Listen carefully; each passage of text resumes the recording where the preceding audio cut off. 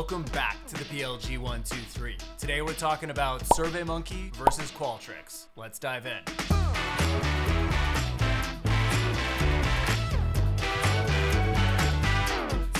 I was on Product Hunt the other day and saw something jarring. This headline that said Product Led Growth's Failure by Evan Armstrong and immediately thought, come on, man. But then I started reading Evan's post and realized I actually agree. The post is comparing SurveyMonkey, who took a bottom up PLG approach, to its biggest competitor, Qualtrics, who took a top down sales led approach. But look, you can't argue with the numbers. SurveyMonkey today is worth 2.6 billion and Qualtrics is worth 13 billion. So if PLG is so great, where did SurveyMonkey go wrong? This article points to two things product marketing and enterprise sales. First up on product marketing. While the functionality is similar, SurveyMonkey is 100% focused on, well, surveys. It says it right there in the name. It sounds tactical because surveys are a tool and not a solution. Qualtrics took the exact opposite approach and focused on solutions, results, and business outcomes. They avoided the word survey like the plague. So instead, they created a new category focused on delivering value through enterprise solutions and called it experience management. The second point is about enterprise sales. SurveyMonkey has a strong viral loop attached to a self-service funnel. That combination has the potential for PLG magic, but it can also be a dangerous drug. If you stay on it too long before adding a sales motion, you never really graduate from small deals with small teams. Qualtrics never really overthought it and instead ran a classic aggressive sales-led playbook with a goal of more reps, more volume, more enterprise logos, bigger ACVs, and generally speaking, more cowbell on all things outbound go to market.